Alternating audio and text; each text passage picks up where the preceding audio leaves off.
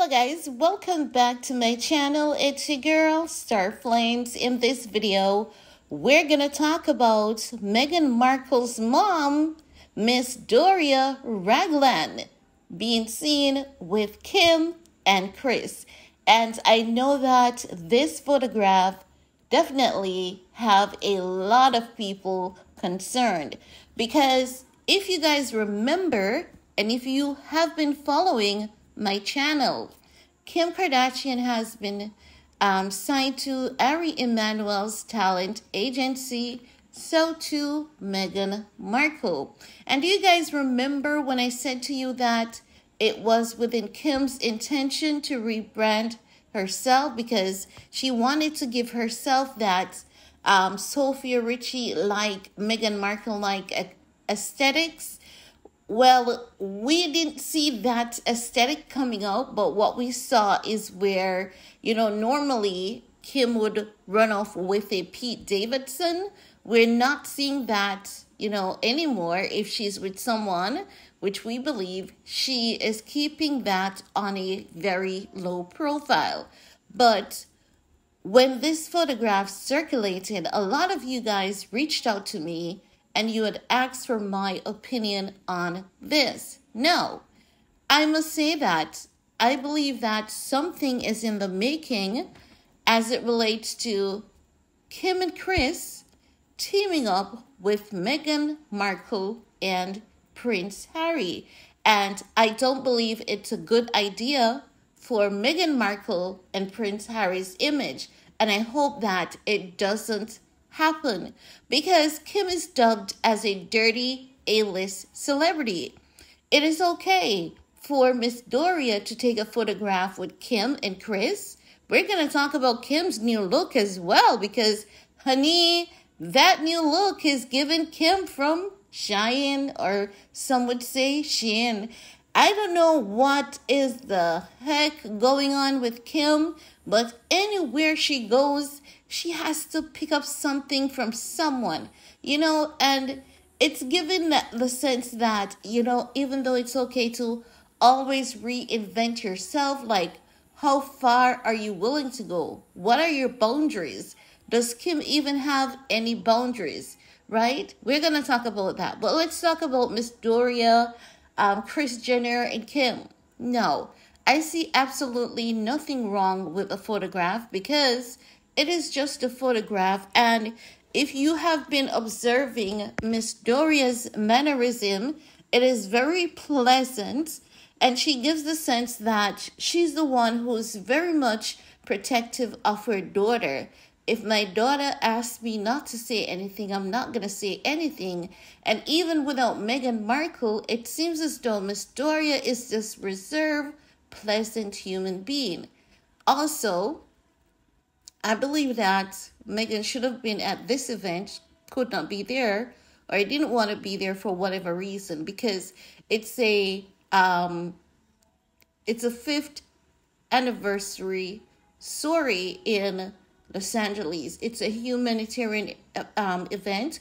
We know that with Meghan Markle, she has done a lot of humanitarian work across the world long before the royal family, even though they want to make it seems like, oh my God, she has all these accolades because of the royal family.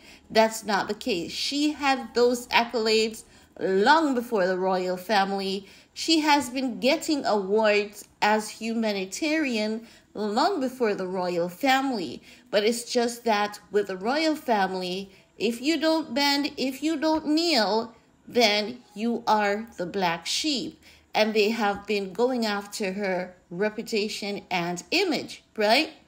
So, even with that being considered, I believe that Meghan Markle and Prince Harry needs to be very careful of their image when it comes to Kim and Kris. Kim and Kris, they are business women, right? But what makes Kim and Kris image so horrible is the mere fact that over a decade, maybe more, Kim and Kris has been caught in numerous unpleasantries. Their name has been associated with so many allegations of theft, fraud. They have been caught in so many lies. And not just that, Kim and Kris, you know, promotes unrealistic beauty standards onto women and young girls, while Meghan Markle is beauty. I can wear a tall dress. I know how to cover it up, look classy, look cute. Meghan Markle promotes lady image, lady mannerism. Kim promotes trashy, you know, slutty, and the rest of the Jenners does promote that type of image. So, even though they are assigned to both talent agencies, you know, and it's just a photograph we're seeing now, I'm wondering if they are slowly, you know, collaborating, like about to collaborate. So they're slowly introducing Meghan Markle, Prince Harry, Kris Jenner, and Kim K in a collaboration because couple weeks ago I saw an article that said Prince Harry has to try the Kim Kardashian method. And I and I was like what the heck? That is about trying what kind of Kim Kim K method when it comes to legal battles. That's not a good thing. And then we heard that um, Meghan Markle is planning on coming back to Instagram and she will be paid $1 million per post.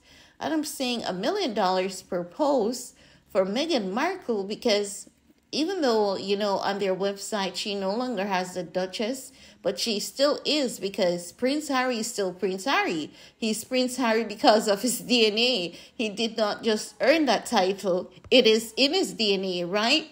Unless all the members of the royal family are no longer royals. That's the only way they can take away Prince from Harry, right? Common sense. So I'm saying, you know, a million dollars for each post coming from Meghan Markle, I think she's worth more than that. But could she be teaming up with Kim to say Meghan Markle and Kim is having this brand, two different women from two different worlds, you know, come together to form one big giant, it's not going to be a good look for Meghan Markle and it's going to give the royal family even more leverage to tarnish her reputation and her character. But for now, I have to say there's nothing wrong with the photograph, but it's really given side eye. Is something about to go on? Is there about to be a collaborative effort? we're going to have to wait and see what happens as to where that is concerned. Now, let's talk about Kimmy Cake's new look because people on the internet they are already trolling Kim Kardashian for the bang, okay? She went to the event. She was giving Black Widow vibes. That's it. Like Kim's look, it is clean. It is beautifully executed but when you look at the foot, when you look at the shoe, it's too much black. And that black and gold jewelry and that bang, it's given a Asian woman who is mourning the loss of her husband and she has to wear black for six months. She has to wear long sleeve, and ensure that she's covered up down to the ankles. Kim is not giving you know, a divorcee who wants to get back out there, who is still hot and sexy. No. But actually, this time around, I have to say, she's giving close to that billionaire look, right? She's not giving cheap content creator vibe, minus the hair. Minus the hair, okay? Because that hair, it ain't hearing, honey. I don't know what is going on. Kim has this obsession with beauty to the point where she doesn't limit herself and say, This is not for me, because you can tell that, you know, her visit to Tokyo, she has been influenced by the um, Japanese culture and beauty, those beautiful, you know, women over there. And she wanted to tap into a piece of that. So she came back with the bangs. Chances are it could can be also you know, teasing that she's about to go short because Bianca is sporting a low cut and Kim has been photoshopping her face to look like Bianca. You guys can see the photos that I've shared in my next video and you can clearly see that it was Photoshop. I don't think she had any intentions of hiding the fact that she did a Photoshop on that photo. She basically gave herself that Bianca aesthetics. So it seems as though she's trying out different things to see how the short pixie cut will look on her. But honestly, I believe that Kim really needs to find herself because something is going on with her. And I don't think that, you know, Kim meant for any of this to be funny. but it is funny because it's given Kim from Cheyenne. It's not given Kim Kardashian. You're wondering, like, where is Kim Kardashian? You're watching this woman practically losing herself instead of her stepping into that maturity and stepping into it boldly and unapologetically. It's as though she's going backwards when she should be going forward. You know, we expect more from Kim, even if it's not good, we expect bold risk. And it's not giving bold risk, it's giving bold copy. Let's copy the woman in Japan. Let's start off with the bang and let's see where else I can go with this. You know, while it's given a sense that she's playing around with different looks, she's like playing it too safe. And because she's playing it so safe, it is not beautifully executed. I don't like how it makes the makeup is good, but I don't really like how it makes her face look. And the bank is the bang is just definitely not doing it for her. And I don't know if Kim have any real friends at this point. It seems as though her friends are there just nodding, saying yes to whatever she does just to make her happy. And your friends are supposed to hit you where it hurts so that in public no one hits you where it hurts. You get all of that tough love behind the scenes. So when you come to the forefront, you come and you give it real good and have the crowd rooting for you and say, Yay, I love that look. Now, everyone is going to always love the look because no matter what, people will always be hating. But once you're able to have that fair balance of people saying, and I'm not talking about those people on her page because she has over a million butts on her page following her, maybe more, right? So I'm talking about like general audience saying yes she's doing well or I love that look. She needs to step out of this mourning phase like, what the heck are you mourning, woman? With all this black, if it's not black leather.